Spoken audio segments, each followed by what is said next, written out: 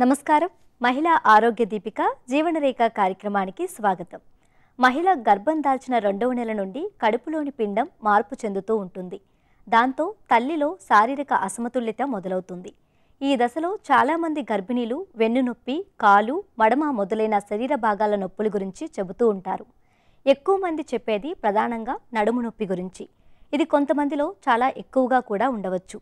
అందుకే నడుము నొప్పితో బాధపడే గర్భిణీలు అదనంగా కొన్ని జాగ్రత్తలు తీసుకోవాల్సి ఉంటుంది. గర్భిణీల్లో ఇబ్బందికరంగా మారే నడుము నొప్పి గురించి దీని నివారణకు డాక్టర్లు ఇచ్చే సలహాల గురించి ఈనాటి మహిళా ఆరోగ్య దీపిక జీవనరేఖలో తెలుసుకుందాం.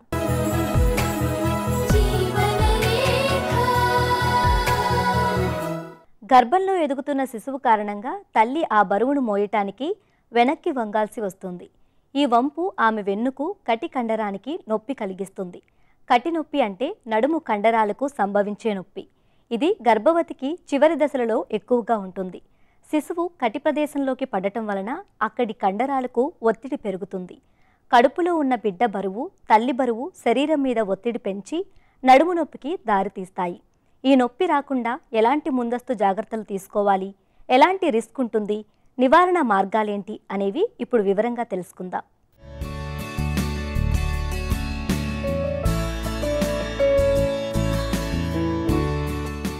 మహిళ గర్భవతి కాగానే శారీరకంగా మానసికంగా అనేక మార్పులు వస్తాయి.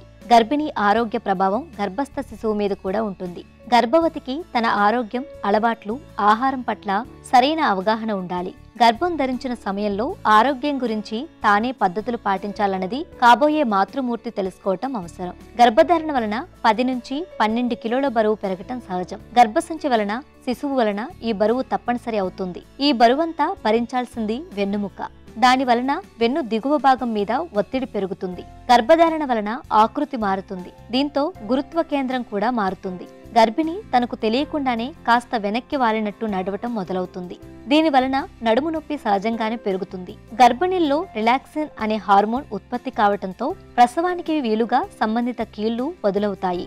కానీ అదే హార్మోన్ వెన్నుముక మీద కూడా ప్రభావం చూపటం వల్ల అది వదులుగా తయారై నొప్పికి దారితీస్తుంది. గర్భసంచి పరిమాణం పెరిగే కొద్దీ ప్రసవానికి అనుకూలంగా కండరాలు కూడా సర్దుకోవటం మొదలుపెట్టి నడుము నొప్పిని మరింత పెంచుతాయి.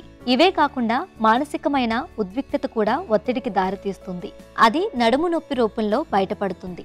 నెలలు నిండే కొద్దీ కాన్పు మీద ఎక్కువ ఆలోచనలు మానసిక ఒత్తిడి పెంచి నడుము నొప్పికి కారణమయ్యే అవకాశాలు మెండుగా ఉంటాయి. ఈ నడుము నొప్పి అనేది చాలా సహజమైంది. ప్రెగ్నెన్సీలో చాలా కామన్గా వచ్చేది.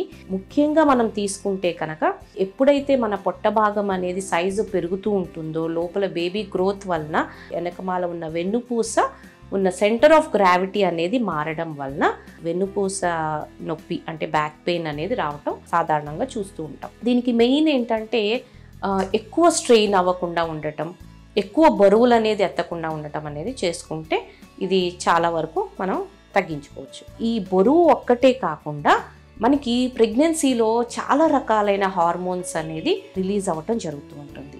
సో ఈ హార్మోన్స్ అనేది దాంట్లో ముఖ్యమైనది ఏంటంటే రిలాక్సిన్ అనే హార్మోన్ అనేది డెలివరీకి సహకరించటానికి డెలివరీ టైంలో బేబీకి కింద స్పేస్ అనేది ఇవ్వటానికి చుట్టూత కండరాలన్నీ లూజ్ అవ్వటం వలన బేబీ డెలివరీ అనేది ఎంకరేజ్ చేయటానికంటూ ఈ హార్మోన్ అనేది రిలీజ్ అవ్వటం జరుగుతుంటుంది. మన ఇండియన్ ఉమెన్లో ఎక్కువగా ఏంటంటే మనం చూసేది ఎనీమియా రక్తహీనత. సో ఎప్పుడైతే ఈ రక్తహీనత అనేది ఉంటుందో లేదా థైరాయిడ్ రిలేటెడ్ సమస్యలు వీటన్నిటి వలన కొంచెం ఈ నొప్పులు అనేది బయటపడుతూ ఉంటాయి. పెయిన్స్ స్టార్ట్ అయ్యే ఎర్లీ దశలో నడుము నొప్పిగా కూడా ప్రజెంట్ అవ్వటం జరుగుతూ ఉంటుంది. సో ఇంకా కొంతమందిలో చూసుకుంటే యూరిన్ ఇన్ఫెక్షన్స్. ప్రెగ్నెన్సీలో యూరిన్ ఇన్ఫెక్షన్స్ అనేది మనం చాలా ఫ్రీక్వెంట్గా చూస్తూ ఉంటాం. ఎందుకంటే వాళ్ళ బాడీ ఇమ్యూనిటీ అనేది తక్కువగా ఉంటుంది కాబట్టి ఈ యూరిన్ ఇన్ఫెక్షన్స్ అనేది రావటం వలన కొంతమంది ఈ ఇన్ఫెక్షన్స్ పైన కిడ్నీస్కి స్ప్రెడ్ అవ్వటం వలన నడుము నొప్పి లాగా కూడా ప్రజెంట్ అవ్వచ్చు. సో అందువలన నడుము నొప్పి అనేది అన్నీ తేలికగా తీసుకోలేము. అదేవిధంగా ప్రతి ఒక్కటి సీరియస్గా అనేది తీసుకోకుండా ఏ కారణం వలన నడుము నొప్పి వస్తుంది అనేది మనం ఎనలైజ్ చేసుకుని దాన్ని బట్టి మనం ట్రీట్మెంట్ అనేది ఇవ్వాల్సిన అవసరం. ఉంది గర్భధారణకు ముందు నుంచి నడుము నొప్పి ఉంటే దానికి ముందుగానే తగిన చికిత్స తీసుకోవాలి. అలా కాకుండా గర్భధారణ తరువాత మొదలైతే కాన్పుకు దగ్గరవుతున్న కొద్దీ ఆ నొప్పి తగ్గుముఖం పట్టడం ఒక విశేషం. అయితే నడుము నొప్పి తీవ్రత ఎక్కువగా ఉండి బాగా ఇబ్బంది పెడుతున్నప్పుడు మాత్రం డాక్టర్ను సంప్రదించటం మంచిది. నొప్పి క్రమంగా పెరుగుతున్నప్పుడు అకస్మాత్తుగా నొప్పి వచ్చి అది కొద్దిసేపట్లోనే ఎక్కువ అవటం లాంటి లక్షణాలు కనబడినప్పుడు ఖచ్చితంగా డాక్టర్ దృష్టికి తీసుకువెళ్ళటం అవసరం. మరికొన్ని సందర్భాల్లో మూత్ర విసర్జన చాలా ఇబ్బందిగా అనిపించవచ్చు కొన్ని అరుదైన సందర్భాల్లో గర్భధారణకు సంబంధించిన ఇతర సమస్యల కారణంగా కూడా నడుము నొప్పి రావచ్చు. అందులో ప్రధానమైనది ఆస్టియోపొరోసిస్ అని పిలిచే ఎముకల క్షీణత సమస్య. వెన్నుకు వచ్చే ఆస్టియోపొరోసిస్ సెప్టిక్ ఆర్థరైటిస్ కూడా కారణాలు కావచ్చు. అందుకే ఇలాంటి సమస్యలకు చికిత్స అవసరం. మామూలు నొప్పి మందులు వాడకుండా డాక్టర్ను సంప్రదించటం వలన నొప్పి కారణాలు స్పష్టంగా తెలుస్తాయి. గర్భిణీలు డాక్టర్ సలహా లేకుండా మామూలు నొప్పి నివారణ మాత్రలు వాడటం మంచిది కాదు. గర్భవతులకు సురక్షితంగా ఉండేలా కండరాలకు విశ్రాంతినిచ్చే మందులను డాక్టర్లు సాధారణంగా సిఫార్సు చేస్తారు. అదే సమయంలో కూర్చునే విధానం పడుకునే పద్ధతి గురించి కూడా సలహాలు ఇస్తారు. ఆక్యుపంక్చర్ లాంటి ఊరటనిచ్చే మందులను సైతం సిఫార్సు చేయవచ్చు. కోవిడ్ వచ్చిన తర్వాత అందరూ వర్క్ ఫ్రమ్ హోమ్ అనేసరికి ఎక్కువ వర్క్ అయిపోతుందని కంప్లైంట్స్ అనేది చేయటం జరుగుతుంది. మనం పోస్చర్ అనేది చాలా చాలా ఇంపార్టెంట్. సో పోస్చర్ అనేది మన హైట్ అనేది టేబుల్ హైట్ కానీ మన చైర్ హైట్ కానీ సరిపోను హైట్లో ఉందా లేదా? మన ఎల్బో లెవెల్కి టేబుల్ లెవెల్ అనేది ఉందా లేదా? అన్నది చూసుకోవాల్సి ఉంటుంది. అండ్ కూర్చునే చైర్ని బట్టి అంటే ఈ చైర్ కంఫర్టబుల్గా ఉందా లేదా? అండ్ వెనకమాల మన వీప్ అనేది స్ట్రైట్గా పెట్టి కూర్చోవాలి. అంటే ఇట్లా వంగిపోయి కూర్చోవటం వలన కూడా మనకి ఈ నడుము నొప్పి అనేది ఎక్కువగా అవుతూ ఉంటుంది. సో అవసరమైతే వెనకమాల సపోర్ట్ అనేది ఒక చిన్న పిల్లో అనేది బ్యాక్ పెట్టుకుని నడుముని స్ట్రైట్గా కూర్చోవటం అనేది అలవాటు చేసుకోవటం అనేది ముఖ్యమైనది. అండ్ మెయిన్గా కూడా పడుకునే పొజిషన్. సో పడుకోవటం అనేది చాలా కొంతమందికి వెలికిలా పడుకోవటం అనేది అలవాటు ఉంటుంది స్ట్రైట్గా పడుకోవటం. సో ఎప్పుడైతే ప్రెగ్నెన్సీ టైంలో స్ట్రైట్గా పడుకోవటం వలన గర్భాశయం బరువు అంతా కూడా వెనకమాల వెన్నుపూస మీద పడి ఒక్కొక్కసారి నరాలు కంప్రెస్ అయ్యి ఈ పెయిన్ అనేది కూడా రావటం జరుగుతూ ఉంటుంది. సో ఒక పక్కకి తిరిగి పడుకుని రెండు కాళ్ళ మధ్య కూడా ఒక మెత్తటి దిండు పెట్టుకుని ఒక పక్కకు తిరిగి పడుకోవటం వలన నడుము నొప్పి అనేది అవాయిడ్ చేయొచ్చు. కొంతమంది బాగా సాఫ్ట్గా ఉన్న పొరుపు అనేది వాడుతూ ఉంటారు. సో బాగా సాఫ్ట్గా ఉన్న పొరుపు అనేది కూడా మంచిది కాదు. ఎందుకంటే అది స్పైనల్ కర్వేచర్ని కూడా కొంచెం ఎఫెక్ట్ చేస్తుంది కాబట్టి.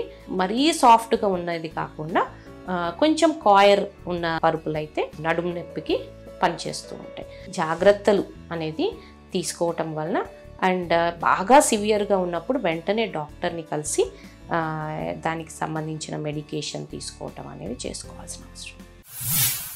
కడుపులో బిడ్డ పెరుగుతున్నప్పుడు శిశువు కదలికలను బట్టి కండరాలు గట్టిపడుతూ లావెక్కుతారు. వేసుకునే దుస్తులు కూడా బిగుతుగా ఉన్నట్లయితే నడుము నొప్పి వచ్చే అవకాశం ఉంది. అప్పుడప్పుడు లేచి నడవటం కూర్చునేటప్పుడు నిటారుగా కూర్చోవటం మెల్లిగా వంగటం వంటివి చేస్తుంటే కొద్దిగా విశ్రాంతి కలుగుతుంది.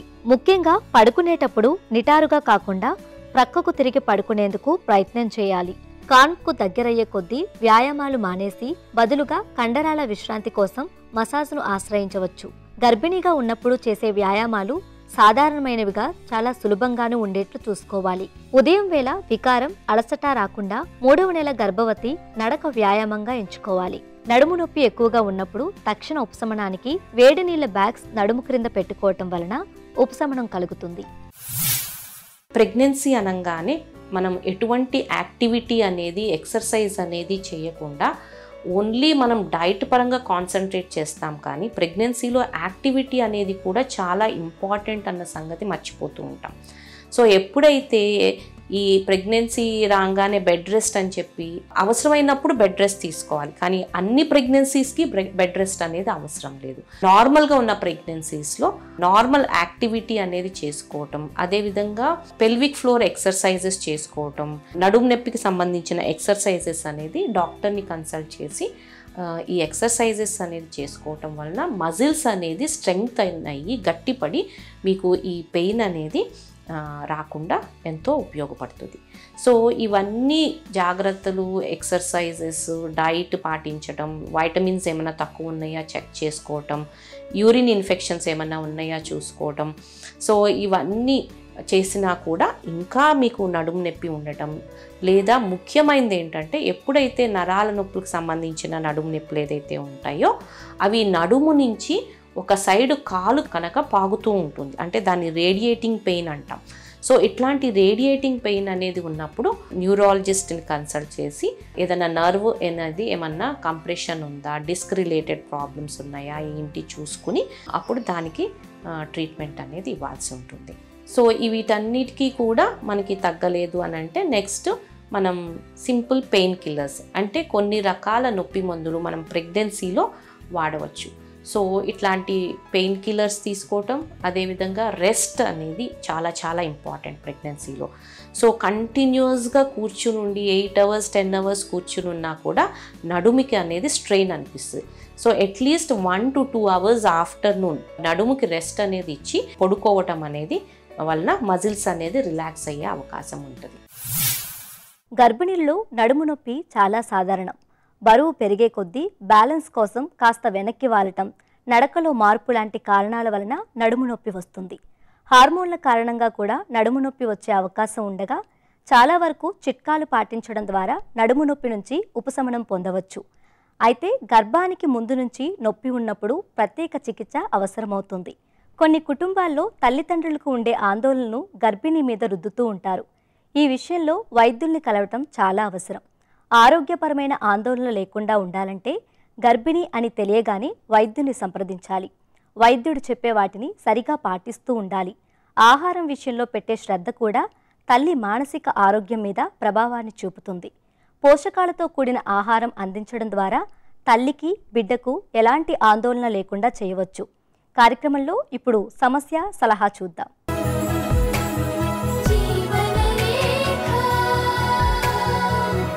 డాక్టర్ గారు ఉషా గారు ఇలా అడుగుతున్నారు. నా వయసు ఇరవై ఐదు సంవత్సరాలు. నాకు ఈ మధ్యనే సాఫ్ట్వేర్ కంపెనీలో ఉద్యోగం వచ్చింది. నాకు ఇంకా పెళ్ళి కాలేదు.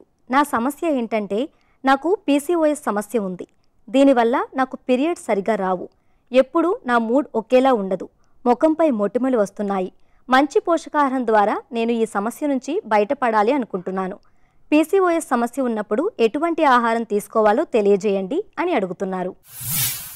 ఉష గారు మీరు ఈ మధ్య రీసెంట్గా సాఫ్ట్వేర్ జాబ్లో జాయిన్ అయిన అన్నారు మీరు ఇంతకుముందు ఎప్పటి నుంచి పీసీఓఎస్ ఉంది దానికి ఏమైనా ట్రీట్మెంట్ తీసుకుంటున్నారా అనేది చూడండి. సాఫ్ట్వేర్ జాబ్లో సెడెంటరీ లైఫ్ స్టైల్ అనేది ఎక్కువగా ఉండడం కనిపిస్తుంది. కాబట్టి మీరు కంటిన్యూస్గా సిక్స్ టు ఎయిట్ అవర్స్ కూర్చున్నట్లయితే మీకు ఇంతకు ముందున్న పీసీఓఎస్ అగ్రివేట్ అయ్యే అవకాశం ఉంది. ఈ కనుక అగ్రివేట్ అయితే మీకు సిమ్టమ్స్ అనేది ఎక్కువగా కనిపిస్తాయి. ఈ పీసీఓఎస్లో మేల్ టైప్ ఆఫ్ హార్మోన్ అనేది పెరిగి ఫిమేల్ టైప్ ఆఫ్ హార్మోన్ అనేది తగ్గుతుంది. ఎప్పుడైతే మేల్ టైప్ ఆఫ్ హార్మోన్ అనేది పెరుగుతుందో అప్పుడు మీకు ఎక్సెసివ్గా పింపుల్స్ రావడము హెయిర్ గ్రోత్ రావడము హెయిర్ ఫాల్ రావడము బ్లాకనింగ్ ఆఫ్ స్కిన్ అవ్వడం వీటితో పాటు వెయిట్ గెయిన్ అనేది అవుతూ ఉంటుంది. ఇవి కాకుండా కొంతమందికి మూడ్ చేంజెస్ ఉండటము డయాబెటీస్ కనుక బార్డర్ లైన్లో ఉండటము బీపీ కూడా రావడం ఇట్లాంటివన్నీ కూడా ఉండే అవకాశం ఉంటుంది. కాబట్టి మీరు సాఫ్ట్వేర్లో చేరిన మీ రెగ్యులర్ ఎక్సర్సైజ్ చేయటము లాంటివి వెరీ ఇంపార్టెంట్ ఇంకా డైట్ విషయానికి వస్తే మీరు తినే జంక్ ఫుడ్ కానీ ఎక్సెసివ్గా ఆయిల్ ఫుడ్ కానీ ఫ్యాటీ ఫుడ్స్ కానీ తినకూడదు. ఎప్పుడూ కూడా మీరు ఫ్రెష్గా హోమ్ మేడ్ ఫుడ్ లేకపోతే ఆయిల్స్ తక్కువగా చేసుకోవటము రైస్ అనేది కొద్దిగా తక్కువగా తినటము ఎక్కువగా ప్రోటీన్ డైట్ తీసుకోవటము ఎప్పుడు తీసుకున్నా మీరు కొద్ది కొద్దిగా ఎక్కువ సార్లు తీసుకోవాలి. కానీ ఒకేసారి ఎక్కువగా తీసుకోవటం వల్ల బాడీలో ఎక్కువగా చేరి మీకు ఇన్సులిన్ రెసిస్టెన్స్ అనేది ఫామ్ అయ్యే అవకాశం ఉంటుంది. మీరు నాన్ వెజ్ కూడా తీసుకోవచ్చు బట్ ఇంట్లో చేసుకొని జస్ట్ మినిమల్ ఆయిల్తో వాడటం లాంటివన్నీ కూడా చేసుకోవాలి. వీటితో పాటు మీరు వాటర్ ఎక్కువగా తీసుకోవటము ఎక్సర్సైజ్ చేయటము ఈ ఎక్సర్సైజ్ చేయడం స్టార్టింగ్ విత్ ట్వంటీ మినిట్స్తో చేసి స్లోగా one to one two hours కనుక మీరు ఎక్సర్సైజ్ చేయటము వీటితో పాటు ఎక్కువగా ఎండకి ఎక్స్పోజ్ అవ్వాలి. ఎండకి ఎక్స్పోజ్ అయితే విటమిన్ డి వస్తుంది. ఈ విటమిన్ డి పీసీఓఎస్ని తగ్గించడానికి హెల్ప్ చేస్తుంది. ఒకవేళ మీకు ప్రాబ్లం అనేది మరీ ఎక్కువగా అవుతున్నట్లయితే డాక్టర్ని కలిసి హార్మోనల్ సపోర్ట్ తీసుకోండి. ఈ పీసీఓఎస్ ప్రాబ్లం నుంచి విముక్తి కలిగే అవకాశం ఉంటుంది డాక్టర్ గారు దివిజ గారు ఇలా అడుగుతున్నారు. నేను ఈ మధ్యనే ఒక లేడీస్ జిమ్లో జాయిన్ అయ్యాను. నా వయసు ఇరవై రెండు సంవత్సరాలు. అయితే వ్యాయామం ఎక్కువగా చేసే స్త్రీలలో పిల్లలు పుట్టడంలో సమస్యలు వస్తాయని అంటున్నారు. వ్యాయామం ఎక్కువగా చేయడం అంటే ఏంటి? రోజుకి ఎన్ని గంటలు వ్యాయామం చేయడం స్త్రీల ఆరోగ్యానికి మంచిది? వ్యాయామం ఎక్కువగా చేసే స్త్రీలలో ఎటువంటి అనారోగ్య సమస్యలు వస్తాయి? తెలియజేయండి అని అడుగుతున్నారు.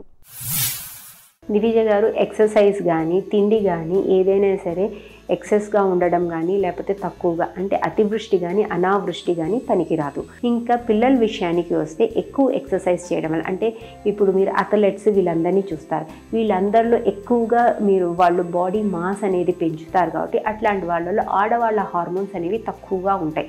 ఆ తక్కువగా ఉండడం వల్ల మీకు హార్మోన్స్లో ఎగ్ రిలీజ్ అయ్యే అవకాశం కొద్దిగా తక్కువగా ఉంటుంది. అంతేగాని పూర్తిగా పిల్లలు పుట్టరు అనేది ఏమీ లేదు.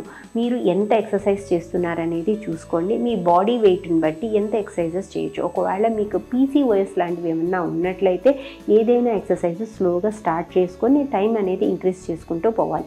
ఒకేసారిగా సడన్గా ఎక్కువగా ఎక్సర్సైజ్ అనేది చేయకూడదు. ఒకవేళ మీకు పీసీఓఎస్ సమస్య థైరాయిడ్ సమస్య ఉండి పొట్ట ఫ్యాట్ అనేది ఎక్కువగా పెరిగినట్లయితే అబ్డోమినల్ ఎక్సర్సైజెస్ ప్లాంక్స్ ఇవన్నీ కూడా చేయొచ్చు. లేదు మీకు అట్లాంటి సమస్య ఏమీ లేనట్లయితే రెగ్యులర్గా వాకింగ్ చేసినా థ్రెడ్మిల్ ఎక్సర్సైజెస్ చేసినా సరిపోతుంది. ఒకవేళ ఎవరైతే ఎక్కువగా ఎక్సర్సైజ్ చేస్తారో వాళ్ళల్లో కొన్ని రకాలమైన సమస్యలు వస్తాయి. ఈ ఆడవాళ్ళకి సంబంధించిన ఫ్యాటీ టిష్యూ అంటే బ్రెస్ట్ సైజ్ తగ్గిపోవటము ఇవన్నీ ఎందుకు తగ్గుతాయి అంటే మీరు ఎక్సర్సైజ్ ఎక్కువ చేసినప్పుడు ఆడవాళ్ళకి సంబంధించిన హార్మోన్స్ అనేది సబ్మిసివ్ అయిపోతాయి. ఆ సబ్మిసివ్ అయినప్పుడు కొన్ని కొన్నిసార్లు మేల్ టైప్ ఆఫ్ హార్మోన్ కొద్దిగా ఇంక్రీజ్ అయ్యే అవకాశం ఉంది.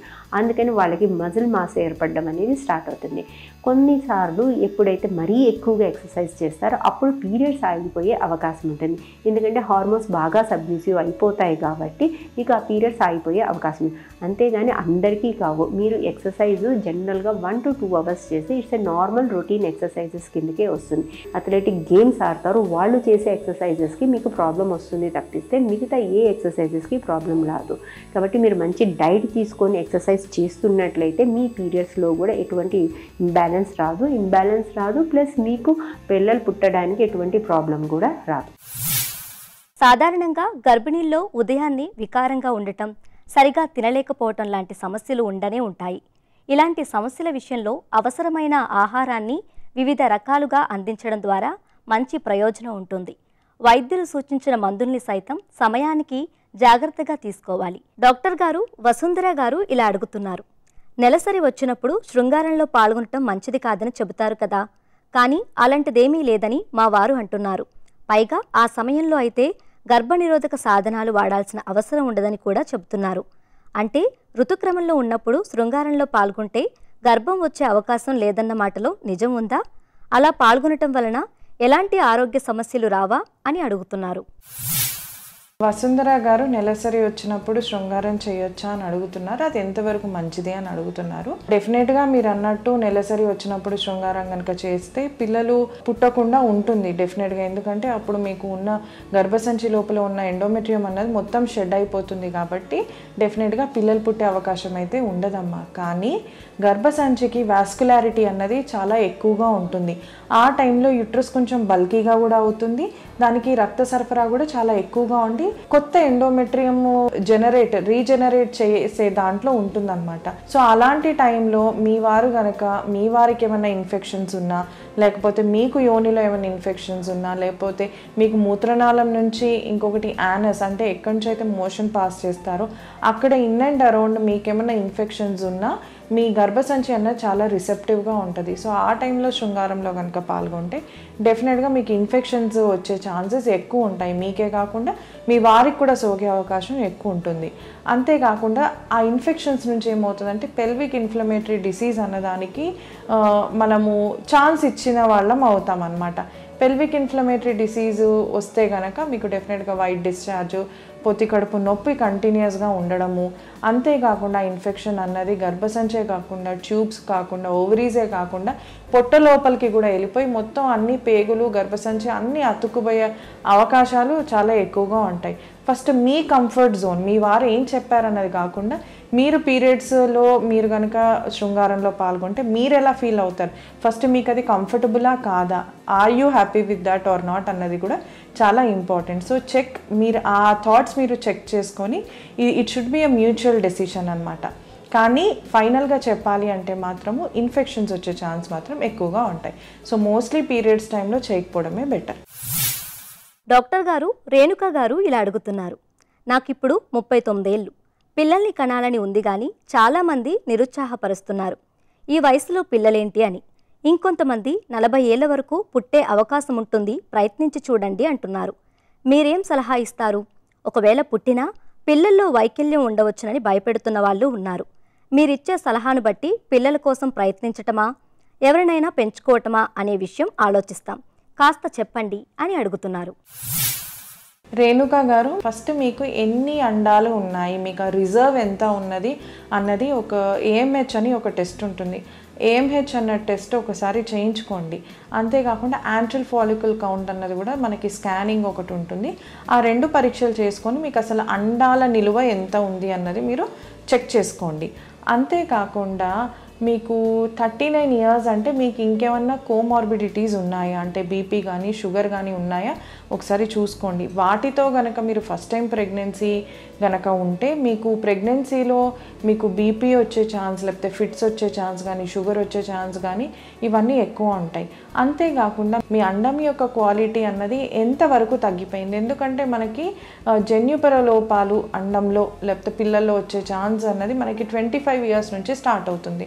ఒక స్త్రీకి ఇట్లా జన్యుపర లోపాలతో పుట్టే పిల్లలు ఛాన్సెస్ ఎక్కువగా ఉంటాయి అన్నమాట అది బిడ్డకి ఇంకోటి మీకు కూడా ఏమీ ప్రాబ్లమ్స్ లేకపోతే ఫైన్ కానీ ఏమన్నా ప్రాబ్లమ్స్ కనుక ఉంటే డెఫినెట్గా మీకు ప్రెగ్నెన్సీలో కొంచెం ఇష్యూస్ అన్నవి వస్తాయి. మనకి ప్రెగ్నెన్సీలో ఇట్లా అబ్నార్మల్ బేబీస్ ఉన్నాయా లేదా అన్నవి మనకి చాలా టెస్ట్స్ ఉన్నాయి.